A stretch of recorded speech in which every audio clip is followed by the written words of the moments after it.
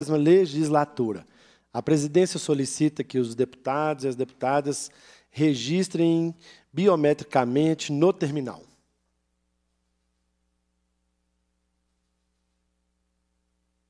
Quero também agradecer a presença da deputada Ana Paula e também o deputado Vitório Júnior, muito especiais os dois deputados aqui na nossa reunião.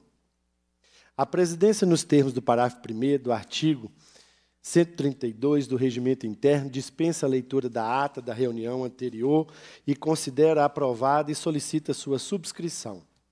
Esta reunião se destina a apreciar a matéria constante na pauta e a receber, discutir e votar proposições da comissão. A presidência acusa a presidência acusa o recebimento do projeto de lei número 2945 de 24 no turno 1, no primeiro turno, do qual designou como relator o deputado Roberto Andrade.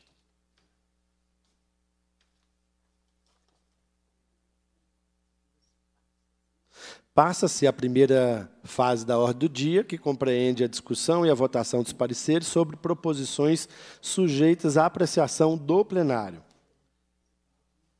Vamos lá. Projeto de Lei número 3.930, 2022, segundo turno, concede a Itajubá o título de capital mineira da produção de helicópteros. A autoria é do deputado doutor Paulo, na ausência do relator Roberto Andrade, avoco para mim a relatoria. Passo a emitir neste momento o parecer. De autoria do deputado doutor Paulo, a matéria em epígrafe visa conceder a Itajubá o título de capital mineira da produção de helicópteros, Aprovada em primeiro turno, da forma original, retorna a proposição dessa comissão para receber o parecer em segundo turno, de acordo com o artigo 189, combinado com os artigos 102, incisos e alíneas. Conclusão para o parecer. Pelo apresentado, somos pela aprovação do projeto de lei 3.930-2022 em segundo turno, na forma original. Em discussão, parecer. Para discutir, não há orador inscrito para discussão, encerra-se a discussão. Em votação, parecer. Os deputados que, e a e deputada que aprovam permaneçam como se encontram. Aprovado o parecer. Projeto de Lei 3.037, de 2021, em primeiro turno altera a Lei número 12.219, de 1 de 7 de 96, que autoriza o Poder Executivo a delegar, por meio da concessão ou de permissão, os serviços públicos que menciona e dá outras providências. O projeto é de autoria do deputado Mauro Tramonte e, na ausência do relator Roberto Andrade, avoco a mim a relatoria. Relatório. De autoria do deputado Mauro Tramonte, o projeto em epígrafe visa alterar a Lei 12.219, de 1 de 7 de 1996, que autoriza o Poder Executivo a delegar, por meio de concessão ou de permissão, os serviços públicos que mencionam e dá outras providências.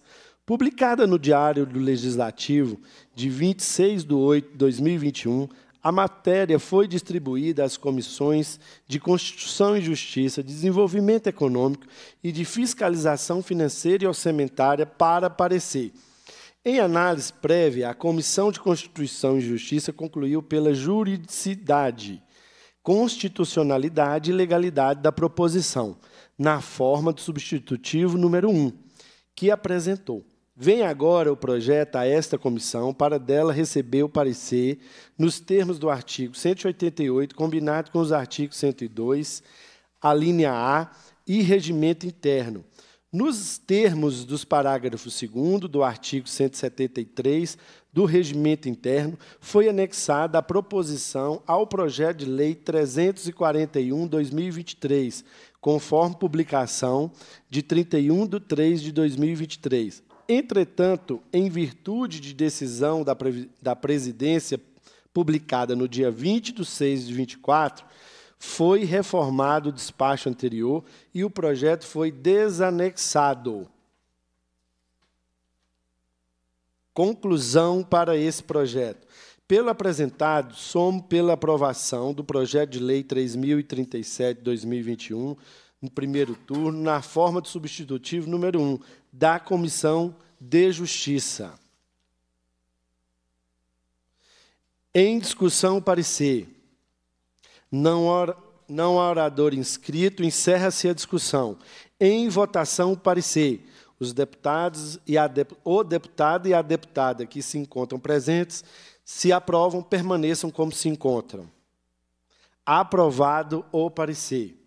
Projeto de Lei 1383 de 2023, em primeiro turno, institui a política estadual de estímulo às sessões de cinema adaptadas para as pessoas de transtorno de aspecto autista, TEA, no Estado, de autoria da deputada Maria Clara Marra, na ausência do relator Roberto Andrade, deputado Roberto Andrade, avoco a mim a relatoria. Relatório. De autoria da deputada Maria Clara Marra, o projeto de lei 1383 de 2023 visa instituir a política estadual de estímulos às sessões de cinema adaptadas para pessoa com transtorno de aspecto autista, TEA, no Estado. Publicado no Diário do Legislativo, dia de 21 de 9 de 23, foi o projeto distribuído às comissões de Constituição e Justiça, de Defesa dos Direitos de Pessoas com Deficiência e Desenvolvimento Econômico. Em análise preliminar, a Comissão de Constituição e Justiça concluiu pela juridicidade, constitucionalidade e legalidade da matéria na forma de substitutivo número 1, que apresentou. Por sua vez, a Comissão de Defesa de Direitos da Pessoa com Deficiência opinou pela aprovação da matéria na forma substitutiva número 2, de sua autoria. Vem agora a matéria e a esta comissão para receber o parecer nos termos dos artigos 188, combinado com os artigos 102, a linha A, no regimento interno. Conclusão para o parecer. A conclusão pelo exposto, opinamos pela aprovação do projeto de lei 1383/2023 no primeiro turno, na forma de substitutivo número 2 da Comissão de Defesa dos Direitos de Pessoas com Deficiência. Em discussão, o parecer. Não há oradores inscritos, encerra-se a discussão. Em votação, o parecer. Os deputados que aqui se encontram se aprovam, permaneçam como, se, como estão. Aprovado o parecer.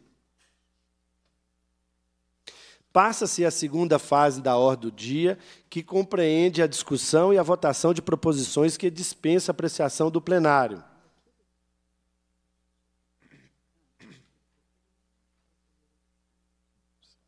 Requerimento 7.180-2024, em turno único, requer que seja formulado voto de congratulações com Hugo, para Hugo Eduardo Ferreira Leite, para sua relevante e exitosa trajetória como empreendedor do mercado de doces artesanais de João Molevade, marcada pela coragem, determinação e espírito inovador.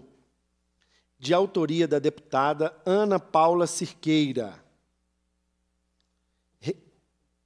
Requerimento 7 mil Indaga a deputada Ana Paula se gostaria de utilizar da palavra.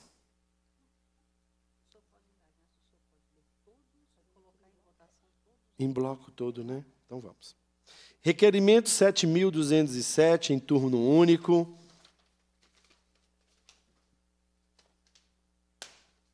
Que requer que seja formulado voto de congratulações com Kerlon Fernando Taveira pela sua trajetória exitosa como empreendedor do mercado de instrumentos musicais, marcado pela sua determinação, seu viés inovador e pela promo promoção de emprego e renda no município de João Molevade, também de autoria da deputada Ana Paula Cirqueira.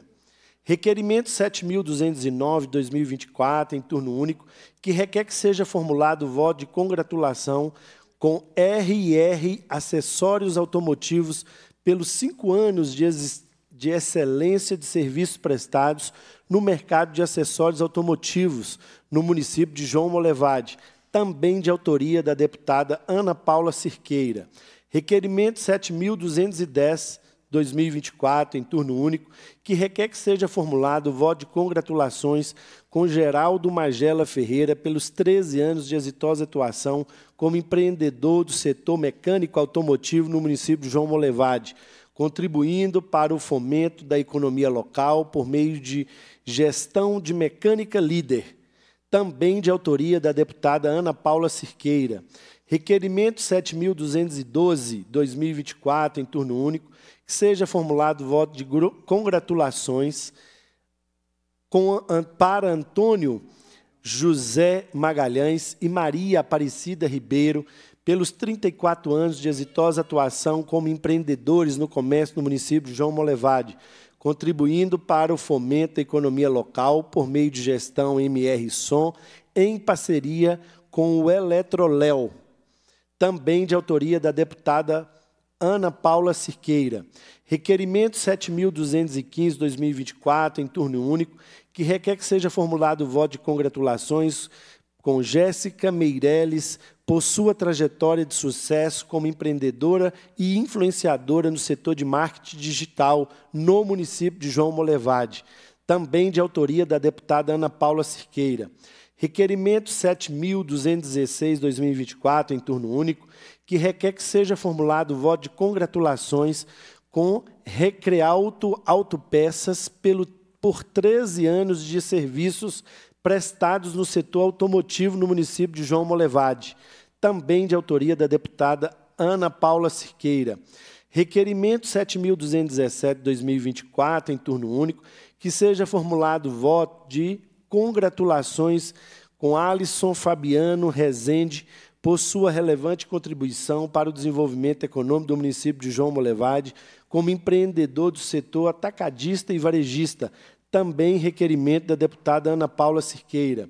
Requerimento 7.220-2024, em turno único, que requer que seja formulado voto de congratulações com Kleber José Costa dos Santos e Udirlene Janaína de Fátima Ferreira pelo empreendimento Churros Gourmet Quero Mais no município de João Molevade, também de autoria da deputada Ana Paula Cirqueira. Requerimento 7.274-2024, em turno único, requer que seja formulado voto de congratulações com o PESC Pague João da Mata pelos nove anos de funcionamento, marcados pela, marcados pela excelência de atendimento e pela promoção do lazer, do emprego e da renda no município de João Molevade, requerimento da deputada Ana Paula Cirqueira.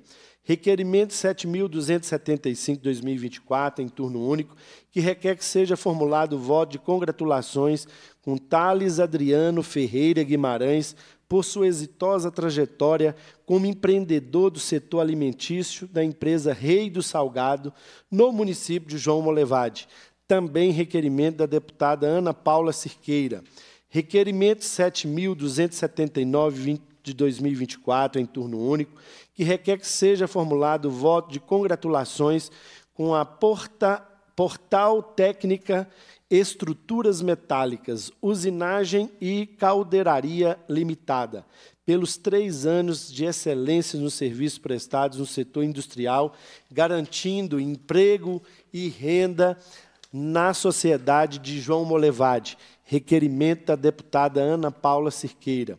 Requerimento 7.294-2024, em turno único, que requer que seja formulado voto de congratulações com a lanchonete Aroma do Café pelos cinco anos de fundação no município de João Molevade, requerimento também da deputada Ana Paula Cirqueira, requerimento 7.307-2024, em turno único, que requer que seja formulado voto de congratulações com Monlearte comunicações visuais pelos 25 anos de excelência nos serviços prestados no mercado de comunicação visual, contribuindo para o fomento da economia de João Molevardi.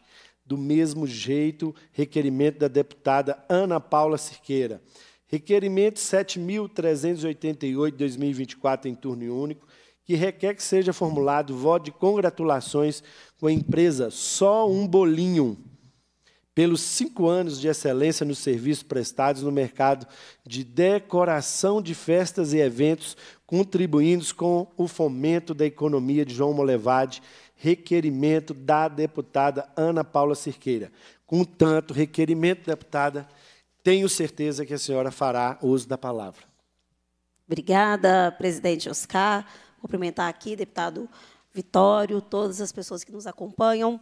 Dizer, Oscar, que é muito bom a gente ver essa casa, a Casa do Povo, podendo reconhecer grupos, instituições, organizações, empresas familiares, iniciativas é, individuais, ver o fortalecimento do empreendedorismo feminino crescendo na nossa região do Médio Piracicaba. E aqui a gente trouxe para ser homenageado com o título, com o voto de congratulação, pessoas que e grupos que contribuem efetivamente para o desenvolvimento econômico e social do município de João Molevade. Eu quero aqui agradecer Vossa Excelência pela apreciação desses nossos requerimentos e dizer à comunidade, à população de João Molevade que esses votos serão entregues a todos aqui descritos pelos relevantes trabalhos prestados.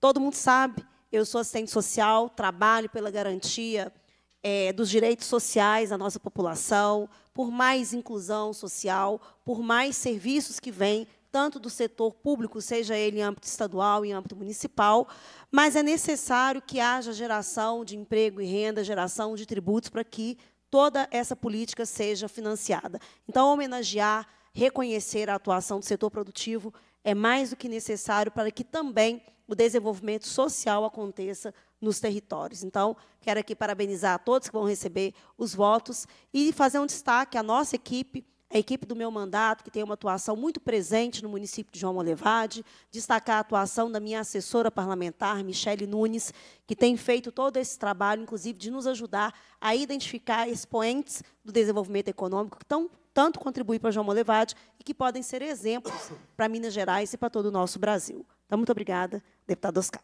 Quero aproveitar, deputado, e te parabenizar. Eu também, como deputado do norte de Minas, mais de Minas Gerais, a gente tem sim que valorizar os profissionais que se destacam. A gente acredita muito na geração de oportunidade, que não deixa de ser um grande projeto social. As oportunidades de emprego e renda transformam a vida das pessoas, dão oportunidade a quem de verdade tem interesse, tem a qualificação, e ali pode sim se motivarem e se tornarem grandes empreendedores. Quero te parabenizar e isso é fundamental na sociedade nos tempos modernos.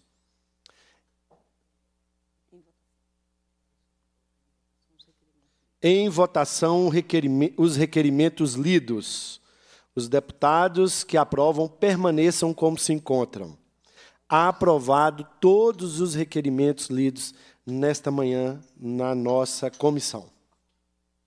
Terceira. Passa-se a terceira fase da ordem do dia, que compreende o, re o recebimento, a discussão e a votação de proposição da comissão. Sobre a mesa, os re requerimento do deputado Rodrigo Lopes, que requer que seja formulado voto de congratulações com a vinícola Casa Geraldo pela honrosa conquista de 12 medalhas no Decanter Wine Awards de 2024 em Londres. Em votação, requerimento. Os deputados e as deputadas que, e a deputada que aqui se encontra, se aprovam, permaneçam como se encontram. Aprovado o requerimento. Indaga os deputados e as, o deputado Vitório e a deputada Ana Paula se querem apresentarem alguma matéria nessa fase. Não, presidente. Não, presidente.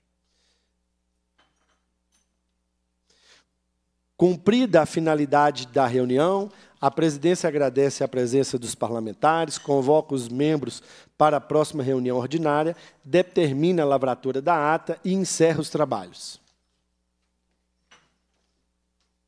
Ana do Santos.